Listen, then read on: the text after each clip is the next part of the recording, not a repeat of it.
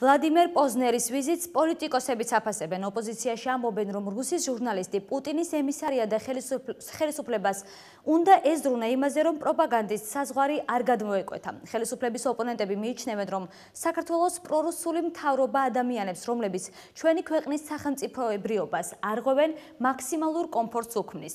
პოლიტიკურ წრეებში კითხვები ჩნდება იმასთან დაკავშირებით, თუ ვინ იყო ინფორმირებული პოზნერის საქართველოში ვიზიტის შესახებ და იყო თუ არა ფაქტი საზოგადოებრივი დესტაბილიზაციის შექმნის მცდელობა. პირდაპირ ამბობს, რომ თურმე აფხაზეთი არ არის საქართველო. აი ხა დავანახებთ, სად არის აფხაზეთი, სად არის საქართველო და სად არის რუსეთი. ეს ფაშისტი თორები არიან სწორედ ამ აზრის ახლა. ჩვენ, როგორც ერი, არ ვართ არაფერი. ჩვენ არ გვაქვს ისტორია, არ გვაქვს მომავალი, არ გვაქვს ხისტება. ჩვენ არ გვაქვს მომავალი. გვაქვს ძალიან დიდი ისტორია, გვაქვს ძალიან მნიშვნელოვანი განსაცდელი ღირსების. მაშინ ჩვენი ფაში არის მარტო ნული.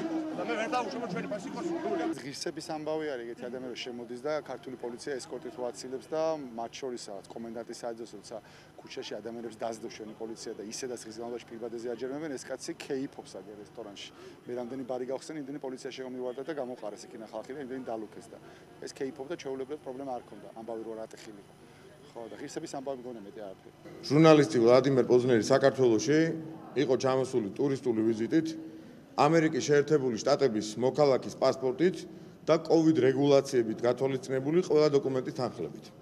მას არ ქონდა დარღვეული ოკუპაციის შესახებ კანონი, შესაბამისად მას ისევე როგორც ნებისმიერ ამერიკელ, ევროპელ და მათ შორის რუს ტურისტს უფლება ჰქონდა COVID რეგულაციების დაცვით შესაბამისი დოკუმენტაციის წარდგენის შემთხვევაში შემოსულიყო საქართველოში.